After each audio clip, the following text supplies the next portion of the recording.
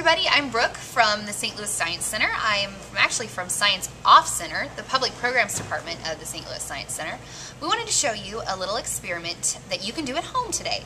So we're going to make oobleck. And now most of you haven't heard of oobleck, so I'll tell you what it is as soon as we've made it. So we start here with our cornstarch, and we add some regular tap water, and then we have, of course, our tablespoon measure and our popsicle stick or our stirring stick. So let's make some oobleck.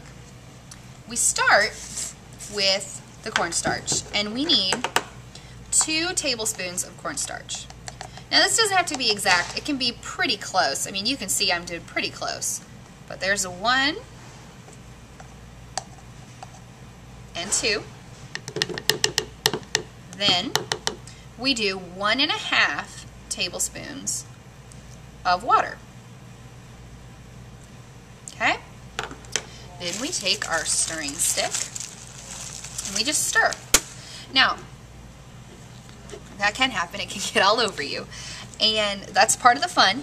But oobleck is an interesting um, compound here because what you want to do is you want to stir it until it gets difficult to stir. It's already difficult to stir, but that's just the cornstarch.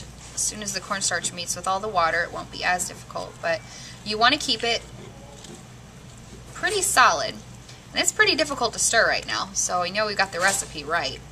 Now, most liquids take the shape of their container. You know, you can pour it and it and it takes the shape. Oobleck is is a liquid, obviously. You can see that. So it does take the shape of its container. But it's also different because it behaves like a solid. So let's show it pouring here. It pours like a liquid pour it back in. But it's interesting because it behaves like a solid. And solids we know are like this table or your head or whatever, you can push them around. But oobleck is interesting because it is a liquid. You can see it laying out on the table. But I can take my stirring stick and I can push it wherever I want. You know, oobleck doesn't behave like a solid, or like a liquid, excuse me. You know, it behaves more like a solid. You push it and it moves. Whereas liquids, you push it and they just kind of all over the place. So that is oobleck. Have fun.